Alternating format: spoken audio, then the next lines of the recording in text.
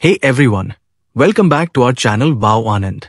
Today, we're diving into Filmora, one of the best tools for beginners and professional. This tutorial will take you from basic edits to advanced techniques, so grab your clips and let's get started. We are getting started from Filmora basics, like trimming and cutting clips. For cutting a clip, place the playhead where you want to split and press Ctrl plus B or you may cut by clicking here. And you can simply delete unwanted part. Next part is adding transitions. For it, click here on transition and choose here and then apply it in between your clips. Smooth transitions make your edits flow better. Next part is adding text. For it, click here on title section and select any of these and then drag and drop to overclip. For more editing, double-click on this title. And here you can edit text and many more.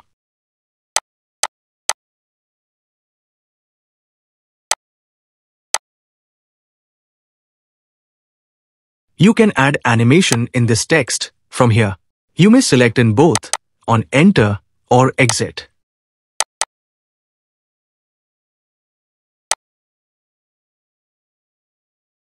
Next part is color grading. For it, double-click on this clip and then click on the color section. Here we will adjust brightness, contrast, and we will try to balance the all levels one by one. So watch here carefully.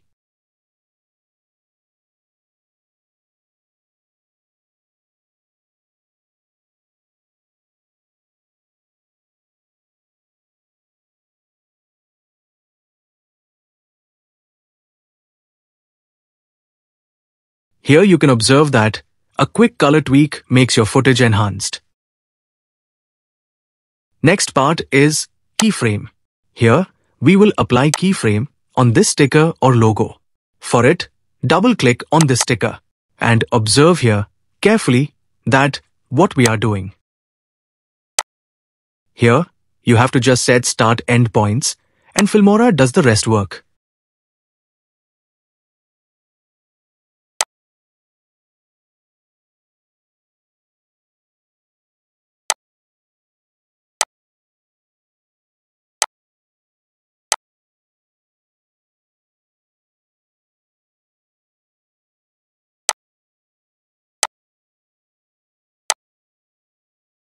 Keyframing is completed. Now, next part is green screen. Here, I have already added a clip on the timeline. And then click on AI tools. Now, turn on this chroma key and adjust these settings accordingly to the clip. And then, you may add background like this.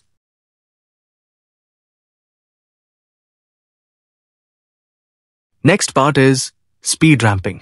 So click on a clip, select speed and then click on speed ramping. Here you can use ready-made preset. Now, adjust the curve for smooth slow motion or fast transitions. Here, you can customize these curves according to your demand.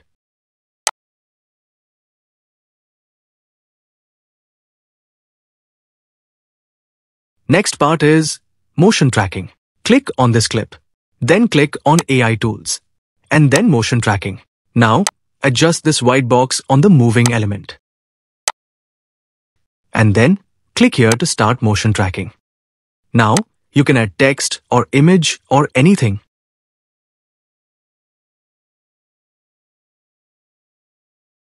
And then adjust the element with tracking. After it, link it from here.